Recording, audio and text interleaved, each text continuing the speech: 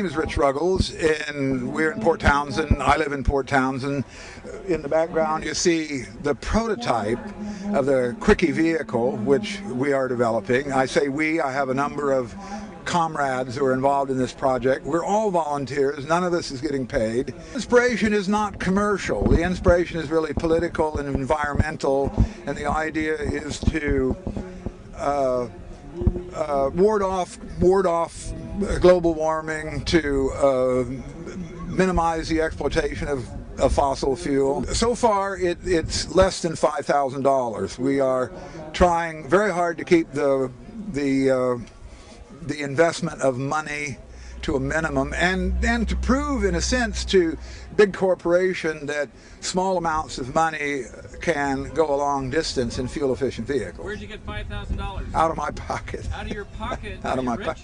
Well, I, my name is Rich Ruggles. I have had th three careers, started a couple of companies, have been pretty fortunate in squirreling some money away. Not a massive amount, but more than I need.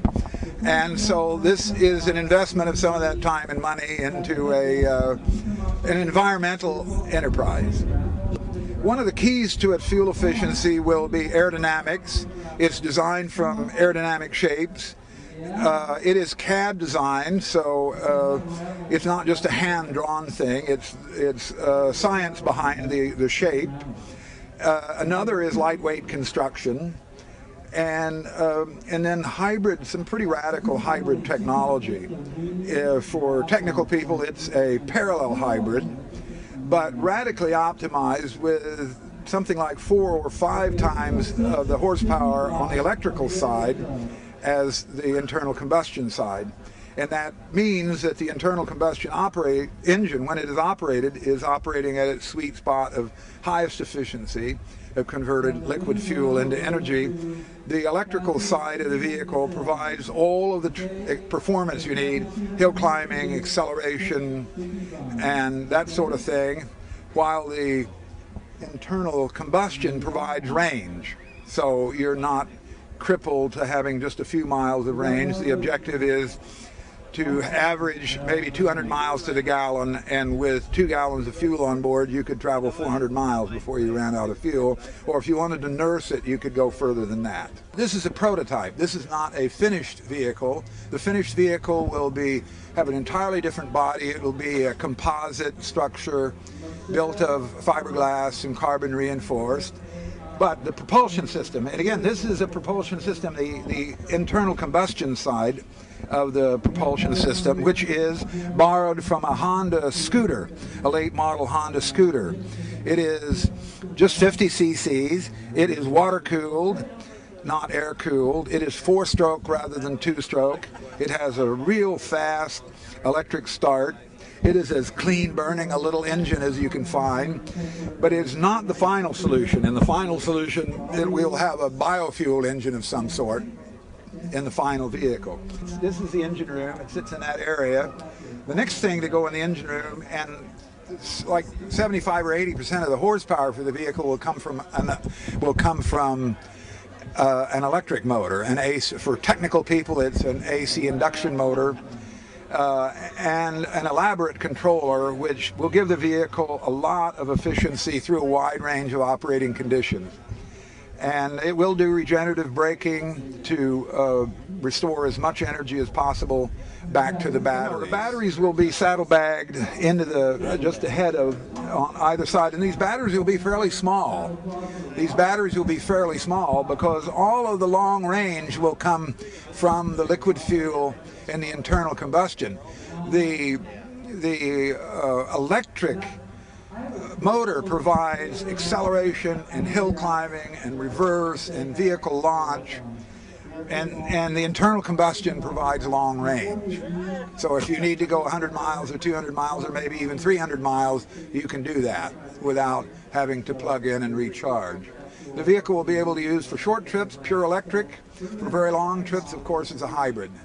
But the goal is immediately is to uh, crawl before we run, and the idea is to prove all of this out off the freeway and uh, speed limits up to 50 mile an hour It'd be very easy to make this vehicle go fast, and but that we will do later after we pour a lot more engineering into it and build a lot more safety features into it and to make it uh, much safer for the freeway environment. We expect to be driving this prototype around uh, by the end of the summer. Uh, and then this is all volunteers. There's no paychecks being written, and so people donate their time, and it's difficult to schedule a project unless you're paying people fat paychecks to keep them sitting at their desk. So this project will happen over time without a schedule. The idea is to develop this with talent and volunteer time rather than just brute force of money.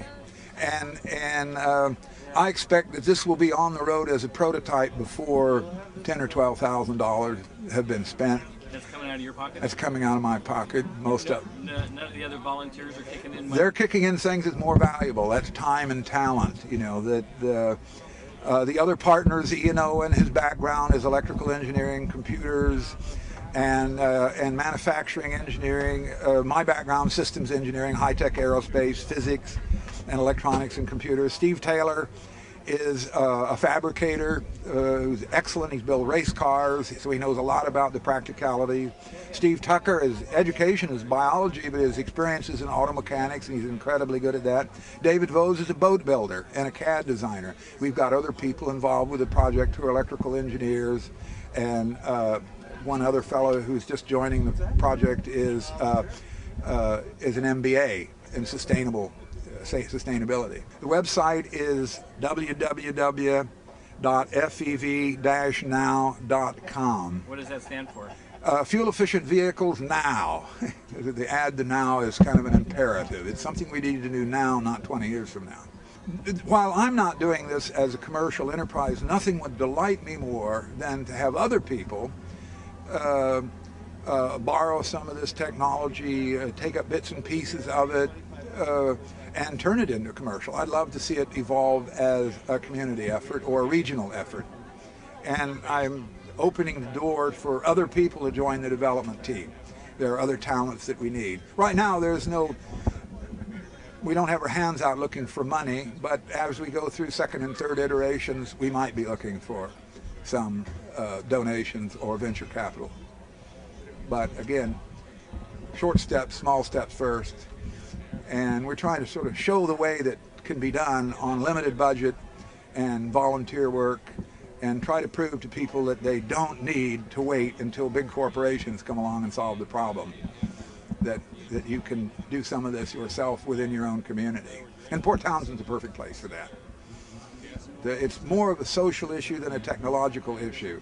And Port Townsend's a perfect incubator town full of talent full of technical talent, but also full of people who are not constrained by convention and who will accept alternate technology and will go the different direction. So that's the goal. You're watching 4-H Network News.